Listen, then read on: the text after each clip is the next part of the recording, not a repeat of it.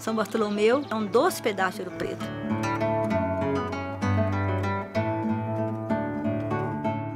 É o distrito mais antigo de Ouro Preto, né? Onde nasceu Ouro Preto. Está na margem do Rio das Velhas. É do final do século XVII. E, e tem uma história muito sedimentada no povo que mora aqui, na tradição de antigo celeiro de Ouro Preto. Então, desde a antiguidade, né, essa tradição de plantio, dos doces, das frutas, é tradição aqui. E perdura até hoje. É, meus avós faziam, né? Então, eles inventaram fazer goiabada cascão, porque fazia era com peneira de taquara, de bambu, né? Então faltou. Aí o, o meu meu avô com o avô do meu marido, eles eram compadres. E falou, compadre, vamos fazer as casquinhas, que às vezes dá certo. E deu. Aí que pegou o cascão. Aí depois foi para os filhos, dos filhos foi para os netos, e hoje uma eu sou uma das netas. Tem 56 anos que eu faço doce. Os doces mais tradicionais daqui é a goiabada cascão, que é o carro-chefe, né, que é conhecida por todos os, em todos os lugares, né, até fora do, do país, a goiabada cascão já foi passear. A goiaba você tem que né, apanhar ela, né, lavar, limpar todas né, as carocas delas.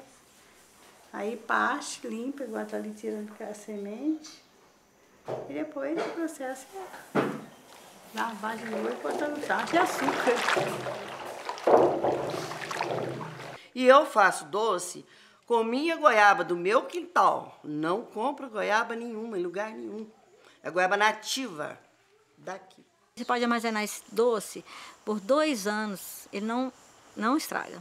Aí, quando você quer picar, você pode picar barras pequenas para vender para as pessoas ou vender o caixotão no preço atacado para quem revende o doce.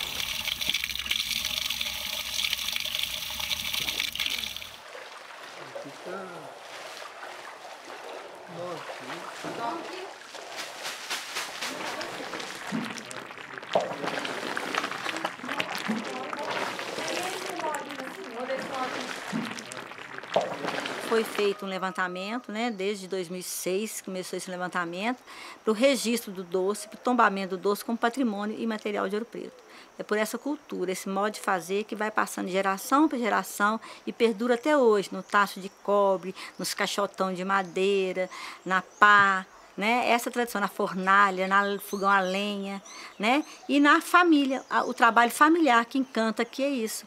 Trabalha a mãe, o filho, o neto, então é essa mistura, né, familiar que dá esse doce tão gostoso, especial de São Bartolomeu. Se você encontrar um doce de São Bartolomeu, vai ter um selinho lá, patrimônio cultural e material de Ouro Preto. Isso acaba de alguma forma além é, é, é, também agregando um valor àquela, àquela manifestação. Isso contribui também para a autoestima daqueles doceiros, que, que, lá é uma produção sempre, muitas vezes, muitas vezes não, quase sempre local, normalmente núcleos familiares que produzem. Nós começamos de, de novo, né? Ajudando meu pai, né? Aí depois meu pai morreu, né? Aí eu segui a tradição. Há relatos de que ah, uma mulher conheceu seu marido fazendo doce e coisas do tipo e continuaram fazendo.